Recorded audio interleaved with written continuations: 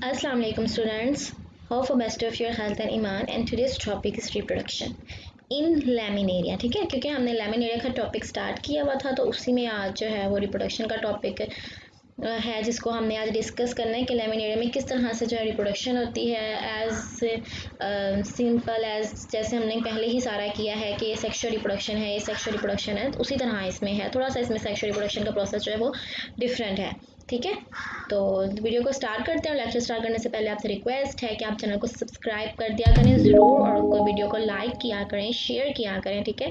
Friends and फैलोज़ के साथ Instagram पे फॉलो किया करें। जिस तरह की कोई भी आपको किसी भी तरह की क्यूरीज़ हैं, कोई क्वेश्चन हैं, कोई आपको नोट्स की जो है वो डिमांड है, कुछ भी है तो वो आप उस पर पूछ सकते हैं, ठीक है?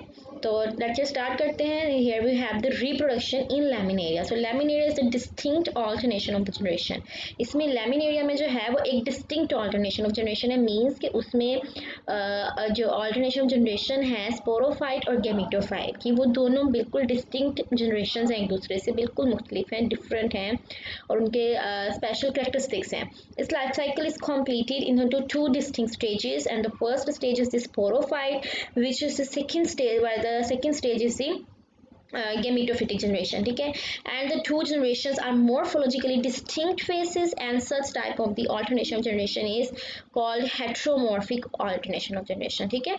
यानी वो है कि जो स्पोरोफाइट है और गेमिटोफाइट है दोनों के स्ट्रक्चर्स बिल्कुल एक दूसरे से डिफरेंट है ये आप फिगर में भी देख सकते हो स्पोरोफाइट का generation which is two n ठीक है?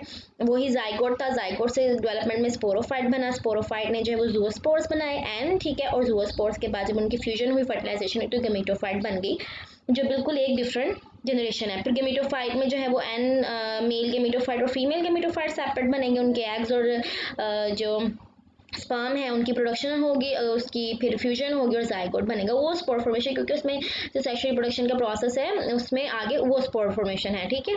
तो इस तरह से इसमें ये पूरी ऑल्टरनेशन जनरेशन बिल्कुल डिस्टिंक्ट है with their special characteristics laminaria reproduce both by asexual and the sexual means ठीक है? अब इसमें दोनों प्रोसेस है ए सेक्शुअल रिप्रोडक्शन भी है as well as it has sexual reproduction First we have here is the asexual reproduction. Laminaria reproduce asexually by the formation of the spores. ठीक है ज़ाहिर है spores के ज़रिए asexual reproduction होगी and the spores are produced in the zoosporangia. Spores हमेशा zoosporangia में sporangia में produce होते हैं ना अगर वो zoospores बन तो उसको हम नाम भी zoosporangia दे देंगे At the time of the production numerous zoosporangia are produced. जब भी reproduction का time आएगा zoosporangia जो है उनकी तादाद बढ़ाई जाती है उसको बनाया जाता है ज़्यादा तादाद में जो है zoosporangia बनाए जाते हैं ठीक है? The both surface of the blade in the groups call the अब ये इस फॉर्म में होता है कि जो ब्लेड की सरफेस जिसको हमने लेमिना कहा था, जो इसका ऊपर वाला पोर्शन है लीफ की तरह का स्ट्रक्चर जिसको हमने ब्लेड और लेमिना कहा है, उसकी दोनों दोनों सर्फेसिस जो हैं, ठीक है?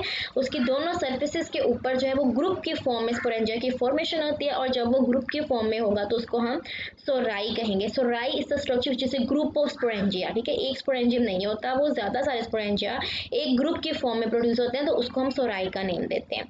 Among this sporangia uh, elongated uh, elongated hair like structure called as the paraphysis are produced. अच्छा अब ये क्या चीज़ है? ये इस तरह से है कि जब स्पोरेंजिया बनते हैं तो इन अब ज़ाहिर है मल्टी मल्टाई स्पोरेंजिया इसमें डेवलपमेंट हो रही है। सिंगल स्पोरेंजिया नहीं बन रहे हैं सिंगल स्पोरेंजियम की प्रोडक्शन नहीं है। उसको सोराई का नेम दिया है। तो हर स्पोरेंजिया यानी हर दो स्पोरेंजिया के दरमियान में जो है वो इस तरह के हेयर लाइक स्ट्रक्चर्स बनाए जाते हैं। उनको सेपरेशन के uh, एक लुक देने के लिए कि ये आपस में सेपरेटेड है। Each sporangia separated from the other sporangia sporangia by the formation of the hair-like structures and these hair-like structures are called paraphyses ठीक है Uh, in the each of these sporangium 32 to 64 biflagellated spores spores are produced. और हर sporangia के अंदर 32 to 64 biflagellated zoospores बनते हैं। ठीक है?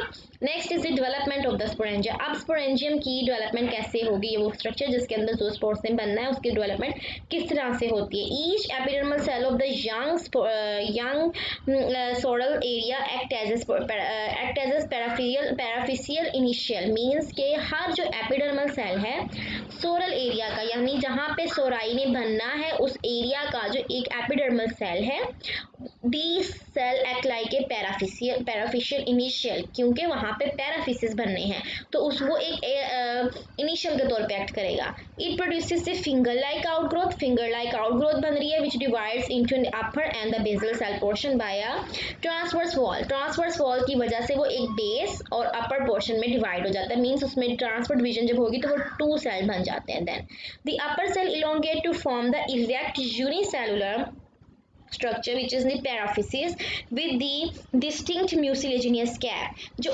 ऊपर वाला सेल है अपर सेल है, वो यूनिसेलुलर सेल बनेगा erect which is the paraphysis with a distinct mucilaginous cap जो पैराफिसिस का स्ट्रक्चर बनेगा, यानी वो बाद में वो जो सेल था, उसको जो उसकी फॉर्मेशन होगी विल मैटर मोरफो सिक्वेंस और it is converted in to a paraphysis paraphysis cell ठीक है? डिस्टिंक्ट म्यूसिलेजिनियस कैप भी उसके ऊपर बनती है एज इट्स टिप जो उसका स्वोलन एपेक्स apex है या टिप है उसके ऊपर। The paraphyses produced arrange stem cells in a parallel like layer वो अपने पेलिसेड की जो लेयर जिस तरह से पेलिसेड में सेल्स एक दूसरे के साथ अटैच होते हैं, उसी तरह वो पेलिसेड की तरह लेयर बना लेते है। And the basal cell develop into a club shaped unilocular sporangia और जो बेसल सेल है, वो जो है, वो उस स्पोरेंजिया की फॉर्म में कन्वर्ट होगा, एक यूनिलोक्यूलर स्पोरेंजियम बन जाएगा। ठीक है the single nucleus of the sporangium undergoes meiosis production of the four haploid nuclei, each of which then divides by the mitosis to produce 32 or the 64 nuclei. And in each zoosporangium 32 to 64 biflagellated zoospores are produced ठीक है? क्या होगा? अब वो जो एक single sporangium बन रहा है, हमारे पास जो बेस वाला सेल था उससे। यूनिलोकुलर स्पोरेंजियम था। उसके अंदर अब एक न्यूक्लियस है। उस एक न्यूक्लियस में म्योसिस होगी। जब उसमें म्योसिस होगी तो चार सेल बन गए, ठीक है?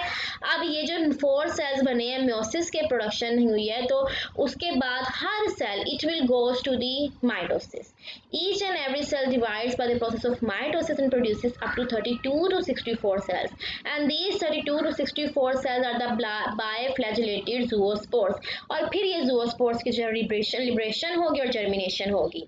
When the of the zoospores when the zoospores are mature the wall of the sporangium breaks जैसे ही जोस्पोर मेच्योर होते हैं वॉल एपेक्स से जो है वो ब्रेक कर जाती है। Apex wall around the spore spore के गिर्द जो एपेक्स वॉल थी apex था, वहाँ से zoospores are liberated out. And they swim in the water for a certain period of the time, as usual, they एक period के लिए जो है, एक जो resting period आप उसको कहते हो, जितना वो time लेता है, वो rest कर रहा है, ये एक period के लिए वहाँ पे वो swim करेगा.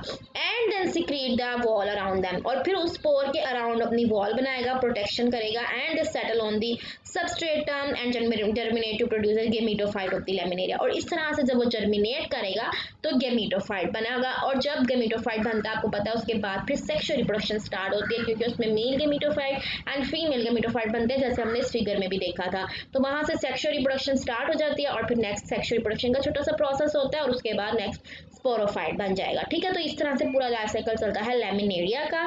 तो नेक्स्ट टॉपिक इंशाल्लाह हमारा सेक्शुअल रिप्रोडक्शन इन लेमिनेरिया होगा। मैं आपको छोटे छोटे टॉपिक्स इसलिए दे रही हूँ ताकि आप जो है वो इजीली अंडरस्टैंड कर सकें और कन्फ्यूज़न ना हो। ठीक है? सो नेक्स्ट लेक्चर तक के लिए मुझे इजाज़त दें। आई होप के लेक्चर आपके लिए बहुत ईजी रहा होगा। सिंपल सा लेक्चर था। ठीक है? सो अल्लाह हाफिज़। Take care your